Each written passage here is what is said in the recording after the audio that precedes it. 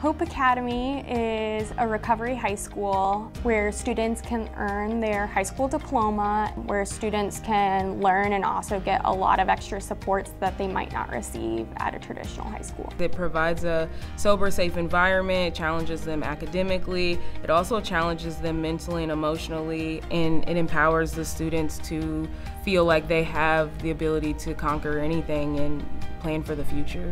You know, you don't come to Hope and immediately get better you know, but you come to Hope and you're offered a space that is safe and supportive to struggle.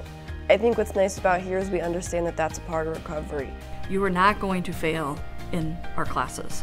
Um, we are going to do everything possible to help you feel successful and to achieve whatever that goal is for you and to get back on track.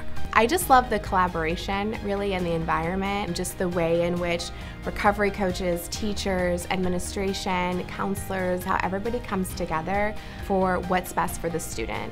And I think that can be really rare in recovery spaces because sometimes um, treatment is so siloed, where here there's bridges everywhere. There's a difference between treatment and a recovery high school. We are recovery coaches, educators, administration, and so you're coming here to learn too. To get your high school diploma, we're just an extra added benefit to help support you in your recovery. It's a place where you won't be judged, you will feel successful, you will grow. It's a place where the adults that are involved in the school, and not just the staff, but the board and our donors, believe in the pathway of recovery and believe that all students should have that access.